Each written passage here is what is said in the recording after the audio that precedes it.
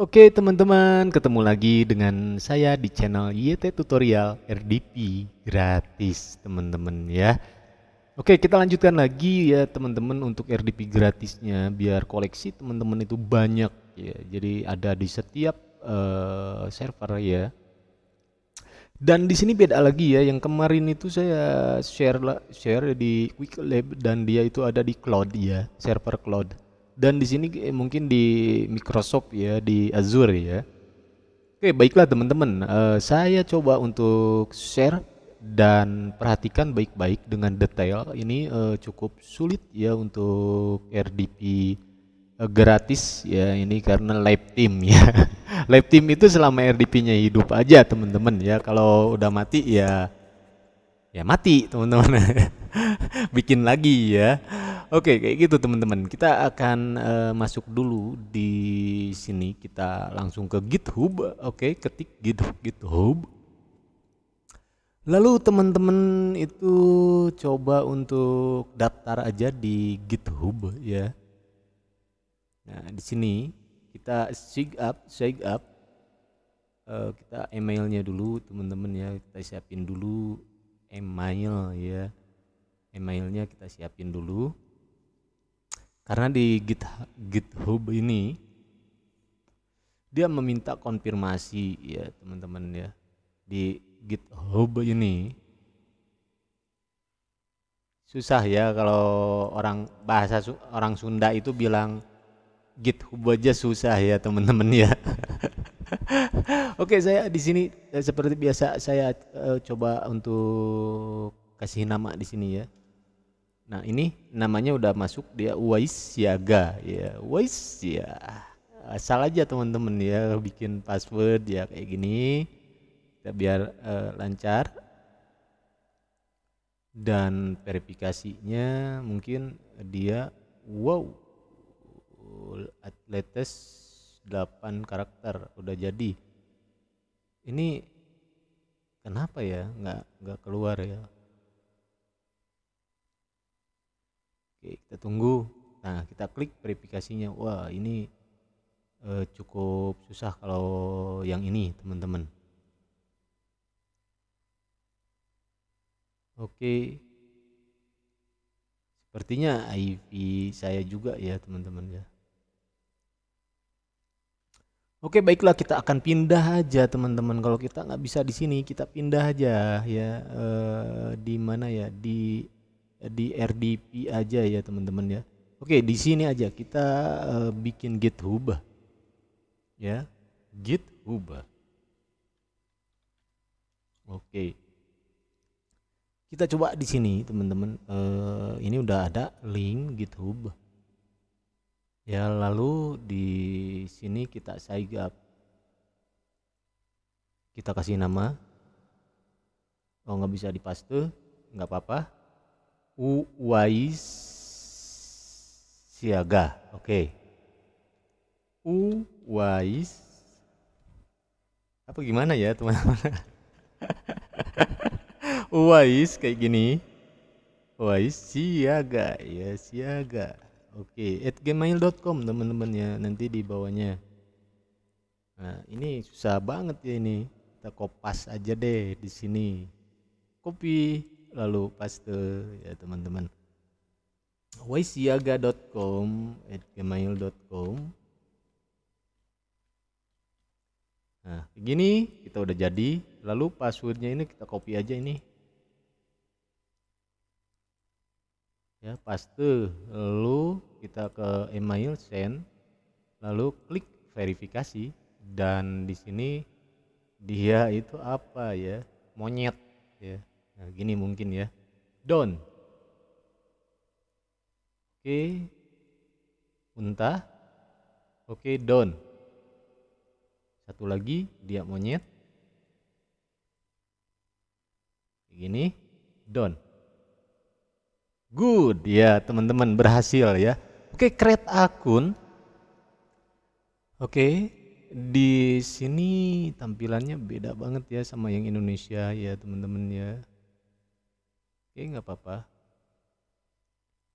Gak apa-apa teman-teman kita lanjut aja kita di student aja teman-teman ya di sini uh, non uh, moderate little programming aja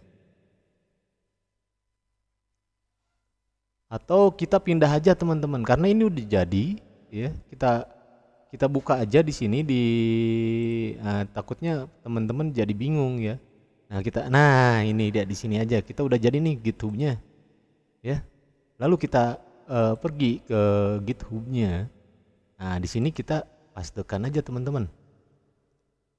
Wise-nya sama ini. Nah lalu kita login oke 6 digit ke wise ya oke. Baiklah di sini dia ngasih kode 6 digit. Kita lanjutkan ke kode lalu tempel kodenya. Salin. Lalu kita verifikasi. Oke, kita udah masuk ke GitHub, lalu di sini kita skip aja, teman-teman. Nah, kita udah ada di GitHub dan di uh, websitenya GitHub. Di sini kita coba start. Start. Nah, di sini UI siaganya udah siaga ya, teman-teman. Kasih nama aja bebas bebas ya, teman-teman ya. Kita kasih nama apa ya, teman-teman ya? Ucok aja ya. Ucok RDP karena si Ucok itu jualan Orson ya teman-teman kita privat kita privat di sini student aja teman-teman boleh ya. Kita isi student. Oke di sini kita langsung create repository.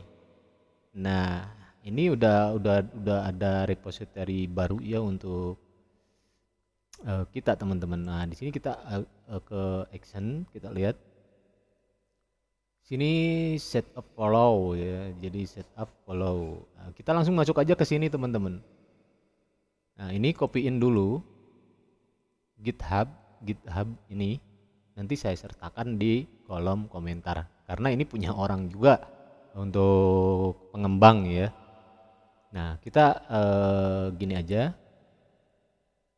Ini baru dan di sini kita ini masih blank dan di sini kita langsung ke file yang kita butuhkan teman-teman. Nah ini dia. File yang kita butuhkan itu adalah ini teman-teman ya. Lalu di sini dia ada ininya eh, remote desktopnya. Lalu kita pindahin gini. Tek. Nah ini untuk remote desktopnya kita pindahin dulu. Dan di sini di kode ini kita lihat ada ports ports eh, 4,4k ini. Ya teman-teman itu eh, gini Nah, ini dia ya. Nah, teman-teman klik yang ini. Ya. Klik yang uh, pork itu, teman-teman. Lalu klik ini. Ya.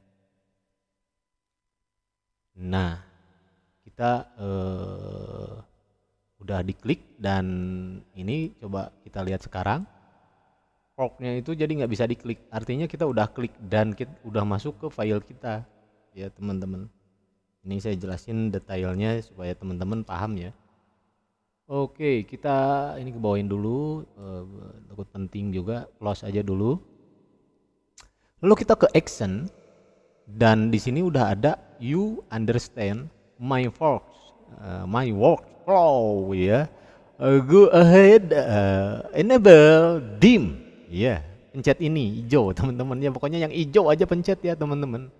Ah oke okay, di sini udah ada CRD dan Windows CRD ini.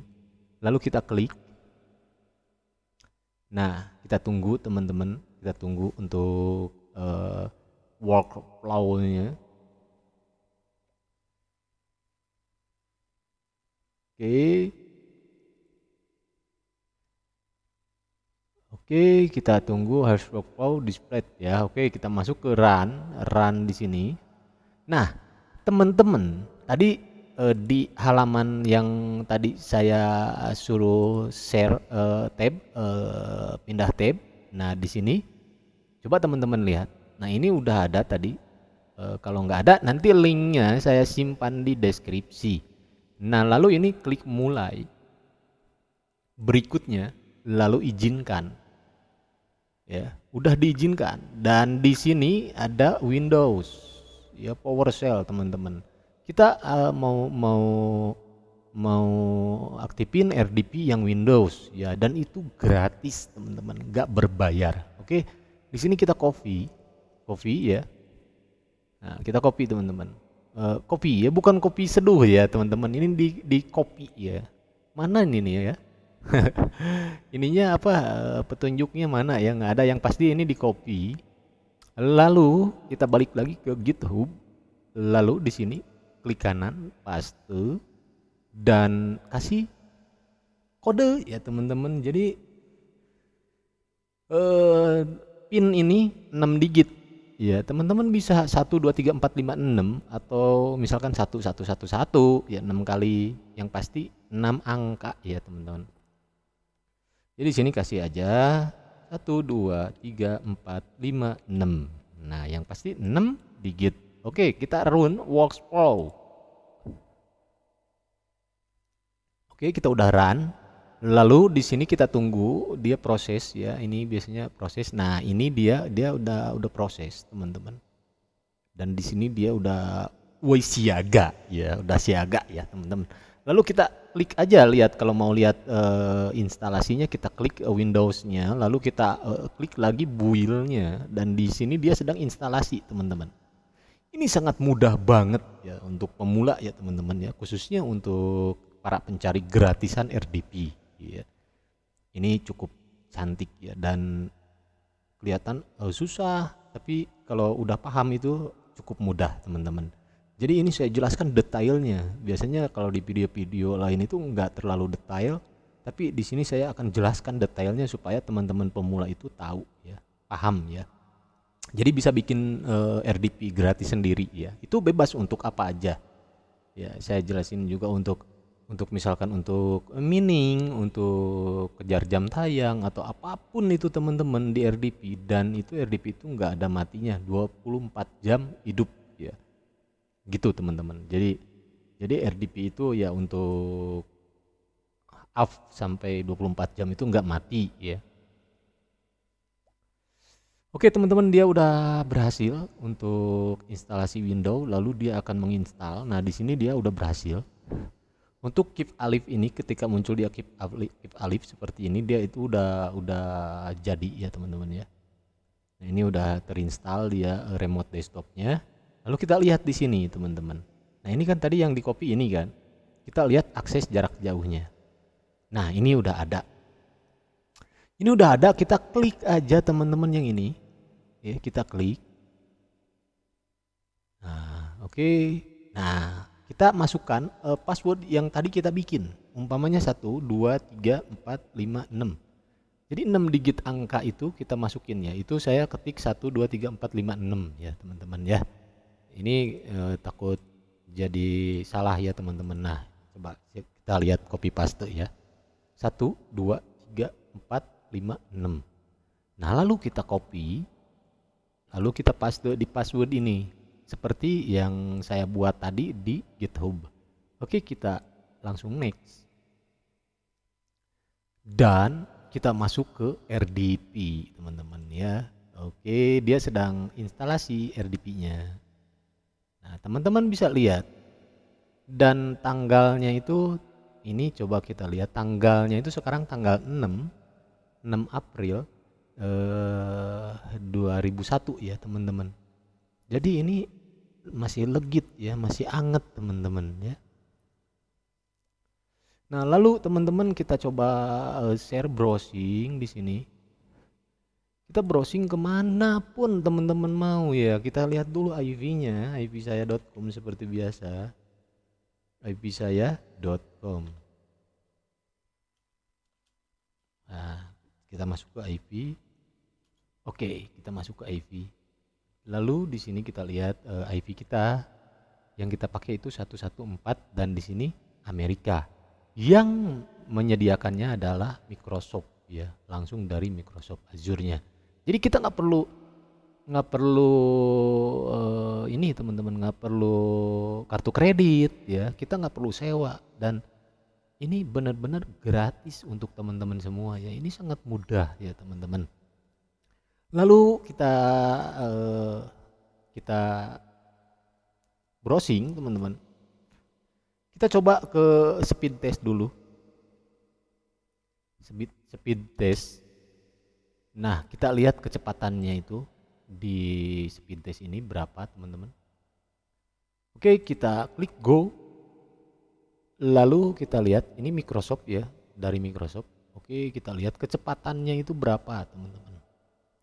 Ini mungkin kebagi-bagi karena ini ya nggak terlalu cepat juga ya. Eh, tadi kemarin saya bilang kan lebih bagus dari kayak dari cloud dia jadi servernya itu sangat bagus ya kalau dari cloud. Ini uploadnya yang gede ya. Kalau downloadnya itu cuma 300 per detik ya teman-teman. 300 mega bukan sek ini ya KB kalau 300 mega itu kalau download lagu itu udah nggak kelihatan teman-teman ya. Kalau kita download misalkan lagu lim, cuma 5 mega ini 300 mega kan. Sedetik juga aduh udah lewat ya.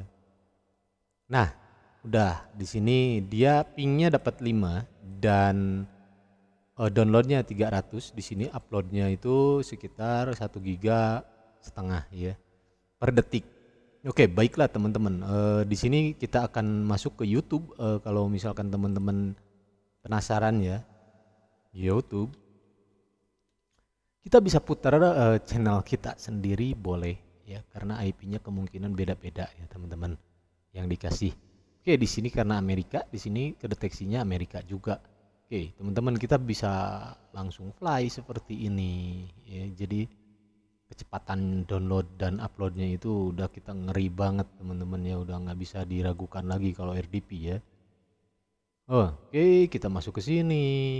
Wah, cepet banget teman-teman. Oke, kita masuk ke sini. Dan kita lihat spek dari komputer ini berapa, teman-teman ya. Ini speknya apa ya. Nah, kita lihat atau kita bisa ketik seperti ini. DX diag, DX diag. Oke. Nah, ini udah ada run command. Lalu kita yes, kita lihat speknya dari CPU ini, dia dua CPU dan RAM-nya itu 8 GB. Ya. Ini dua CPU. RAM 8 GB. Ya, dan teman-teman bisa bebas-bebas berselancar ke mana pun teman-teman suka, ya. Oke, teman-teman uh, boleh uh, di share, di like, di komennya seperti biasa ya. Uh, nanti di komentar uh, kalian boleh uh, request RDP apa pun ya kemungkinan uh, yang ada di internet mungkin saya bongkar aja deh teman-teman ya buat teman-teman semua. Tapi jangan lupa ya sebelumnya yang belum subscribe itu subscribe dulu karena subscribe itu gratis teman-teman dan metode dan metode ini gratis juga ya. Jangan lupa juga di like, di komen, di share ya. Jadi biar tetap hidup channelnya. Jadi uh, ketika RDP-nya mati, saya semangat untuk uh, cari lagi gratisan-gratisan RDP ini. Baiklah teman-teman segitu aja dari saya dan semoga uh, ini bermanfaat untuk teman-teman semua ya yang sedang membutuhkan RDP dan untuk yang lagi belajar kita bisa belajar kode-kode dari Python ya sedikit-sedikit ya teman-teman ya. Ini semuanya gratis, nggak berbayar ya teman-teman. Oke, sekian dari saya. Wassalamualaikum warahmatullahi wabarakatuh.